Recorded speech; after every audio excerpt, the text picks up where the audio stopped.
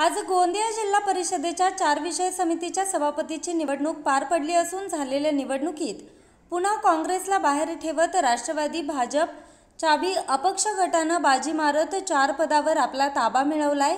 यात भाजपाकडून संजय टेंबरे सविता पुराम यांची निवड करण्यात आली आहे. तर अपक्ष रुपेश सोनू कुथे आणि राष्ट्रवादीकडून पूजा अखिलेश सेठ यांची निवड करण्यात आली आहे. नुकतीच दहा मेला जिल्हा परिषदेच्या अध्यक्ष उपाध्यक्ष यांची निवडणूक पार पडली असून यात काँग्रेसला बाहेर ठेवत भाजपानं राष्ट्रवादीसोबत हातमिळवणी करत बहुमत सिद्ध करत सत्ता स्थापन केली आहे. दरम्यान आज महत्त्वपूर्ण असलेल्या चार विषय समितीची निवडणूक झाली असून यात पुन्हा राष्ट्रवादी भाजप चाबी अपक्ष गट एकत्र येत चार विषय समितीवर कब्जा मिळवलाय. विशेष म्हणजे जिल्हा परिषद अध्यक्षपदाच्या निवडणुकीत काँग्रेसला दूर सारत ज्या भाजप राष्ट्रवादीने सत्ता मिळवली तोच पॅटर्न सभापतीपदाच्या निवडणुकीत वापरून चारही सभापती पद मिळवलं आहे.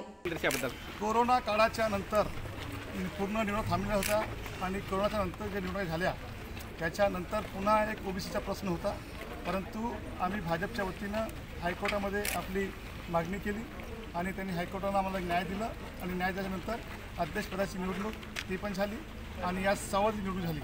आणि आज कोरोना काळाच्या नंतर जिल्ह्याचा सर्वांगीण विकास करण्याकरता पूर्ण लोकप्रतिनिधीच्या माध्यमातून आम्ही पूर्ण विकास करणार आहे आणि एक चांगला बळकट विकास करून लोकांना दाख- दाखवणार आहे. Thank you news reporter Chetan Samrit आज चोवीस तास गोंदिया.